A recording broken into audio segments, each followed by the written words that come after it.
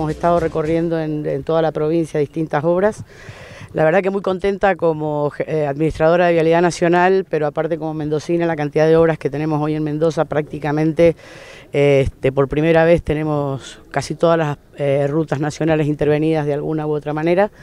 eh, especialmente en el sur que eran muy, estaba bastante abandonado el tema de las rutas nacionales, solo basta recordar en qué condiciones se encontraba la calle Bayofet, que es la ruta 143, que fue un pedido del gobernador en su momento este, y de toda la gente de San Rafael para que interviniéramos y que hacía años que no, estábamos calculando en vialidad porque no nos lo calculamos, que hacía 21 años que no se hacía nada en esa calle.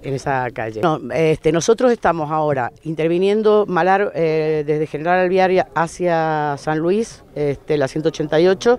Venimos con proyectos con la gente de Alvear en la apertura y en la definición de la traza de lo que es la 188 hasta el límite, que eso venimos trabajando desde que yo era regional. Hemos avanzado porque ya se declaró la utilidad pública de, lo que va a ser la futura traza. Es un trabajo que también se hizo por administración con nuestra gente, así que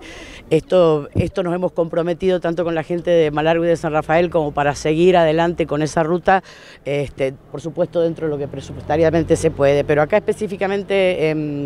en, San Rafael, hemos intervenido en la 146, en la 144, en la 143.